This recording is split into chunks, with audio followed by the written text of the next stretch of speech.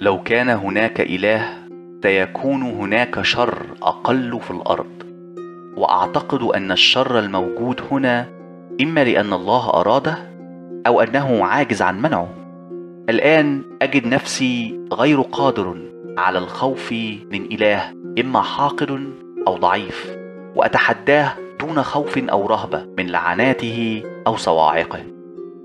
بالكلمات القوية دي تيريز بتفسر المصائب اللي قادتها لمصيرها المأساوي في طريقها للموت في نسج خيالي بيدور قبيل الثورة الفرنسية في رواية جوستين مصائب الفضيلة. جوستين or the misfortunes of virtue اللي نشرها الروائي والفيلسوف الفرنسي البوهيمي المثير للجدل ماركيز دو ساد ماركيز دو ساد سنة 1791 اللي اتسمت كتاباته بالتحرر من القوانين والأخلاق والأعراف.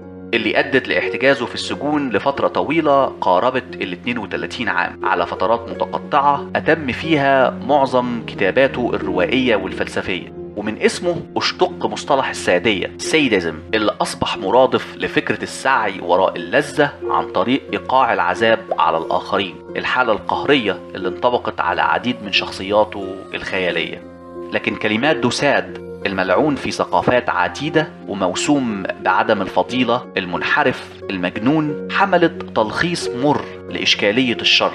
الأمر اللي أدى باللاهوتيين من مختلف الديانات والمعتقدات الأرضية لإفراد فرع لاهوتي معرفي كامل لتفسير وتبرير وجود الشر في الكون. عرف بالثيادسي أو تبرير العدالة الإلهية ثيادسي. وتنوعت الأفكار والنظريات اللاهوتية في محاولة تفسير الوجود الغير مبرر في كتير من الأحيان للشر.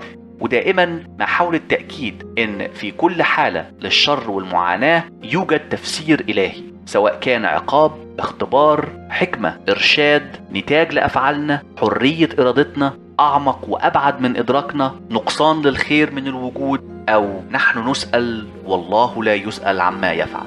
ايا كانت صورته التبرير أصبح صورة قائمة في عقول اللاهوتيين والمؤمنين. مش كمحاولة للدفاع عن وجود الشر أو إظهار إن وجود الشر لا يتعارض مع وجود الله لكن كوسيلة لإيضاح إن الكائن العاقل من الممكن إنه يدرك وجود الله ووجود الشر معا ويبرر لماذا يسمح الله بحدوث الشر وطرح إطار فكري جدلي من الممكن من خلاله محاولة فهم وجود الشر في العالم بصورة إيمانية روحية خالصة في غالب الوقت. لكن لكن ايا كان الاعتقاد الثيادسي للمؤمن يبدو إن إشكالية الشر والمعاناة ما زالت معضلة مؤرقة للعقل البشري خصوصا المؤمن منه.